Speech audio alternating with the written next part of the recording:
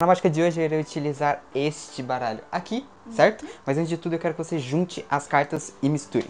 Misture da maneira que você quiser, quanto você quiser. E sei lá, se quiser espalhar aqui assim na mesa também, tanto faz. Eu só quero que você misture e quando estiver satisfeito você para. Isso. Quer fazer um riffle shuffle? Consegue fazer um riffle shuffle? Ó, tem algumas pessoas te vendem, se errar vai ser vergonhoso. te ensinei. É, é verdade, gente. Ela não tá mostrando o rosto. Ah, não, tá mostrando o rosto sim. Ó, se, vocês, se vocês não sabem, ela foi a pessoa que me ensinou a fazer o Riffle Shuffle. Quando eu comecei Meio a fazer mágica. mágica.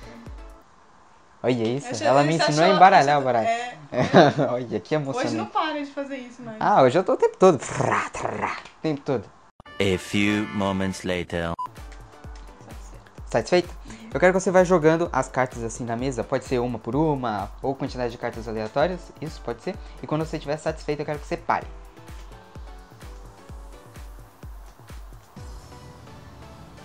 Aí? Você quer passar cartas a mais? Cartas a menos? Quero. Quer? Então, volta algumas cartas. Aí, tá bom? O que sobrou, coloca dentro da caixinha. Isso, pode colocar. E seguinte, esses dias eu tirei uma foto. E essa foto eu deixei de papel de parede no bloquinho de tela do meu celular. Então, vou mostrar aqui pra vocês. Que a foto que eu tirei eram de três cartas. Três cartas aleatórias. Um mais de espadas, um quatro de copas e um quatro de paus. Certo? Mas essa foto não é uma simples foto. Eu não simplesmente tirei uma foto para colocar de papel de parede. Essa é uma foto que eu vou utilizar como uma previsão. Você misturou o baralho, certo? Você misturou mais, menos, sei lá quanto você misturou, mas você misturou bastante. Sim. Você jogou as cartas na mesa e parou onde você quis. Você até voltou cartas. Se você não tivesse voltado as cartas, as cartas que estariam aqui seriam diferentes, certo? Sim. Mas você parou exatamente aqui. Na previsão, temos um Ás de espadas. Exatamente, Ás de espadas. Um 4 de copas e um 4 de paus. As três cartas da previsão. Mas, são cartas aleatórias. Você consegue ver alguma lógica entre elas? Você sabe o motivo de ser um mais um 4 e um 4? É porque é bonito. Não, não é porque é bonito. Não, não sabe? Não. Não? Porque, como eu disse, eu tirei essa foto um tempo atrás. E essa previsão aqui indicava exatamente o dia que eu ia fazer a mágica pra você. Que no caso é dia 14, 1, 4 do mês de abril. Mês 4, 14 de abril. Fala pessoas, tudo bem com vocês? Galera, no vídeo de hoje ensinarei a mágica que vocês acabaram de assistir no começo do vídeo, que é uma criação, se eu não me engano, é uma criação do Alex Pandrea, pois eu aprendi essa mágica com ele no canal dele. Ele mesmo ensinou essa mágica, então eu estou apenas traduzindo o vídeo que está em inglês para o português para vocês. E se você gosta desse estilo de vídeo onde eu ensino mágicas a vocês, não se esqueça de curtir o, o vídeo e dar o feedback se vocês querem que eu traga mais vídeos assim aqui pro canal. Também se inscreva e ative o sininho do lado para vocês não perderem os próximos vídeos. E caso você esteja pensando em comprar um baralho para você realizar seus efeitos de mágica ou seus floreios de cardistry, não esqueça de acessar o primeiro link aqui embaixo na descrição, que é o site da Unicosmic. Lá eles vendem baralhos personalizados para você realizar seus efeitos de mágica, seus floreios de cardistry, tem baralho ao seu estilo. Então acessa o link agora para você ver as variedades de produto que tem lá e caso algo lá no site te chame a atenção e você queira realizar a compra, não se esqueça de utilizar o cupom de desconto do canal que é EUC10 para você ter 10% de desconto na sua compra. E agora sim, sem mais enrolação, vamos pro tutorial da mágica de hoje.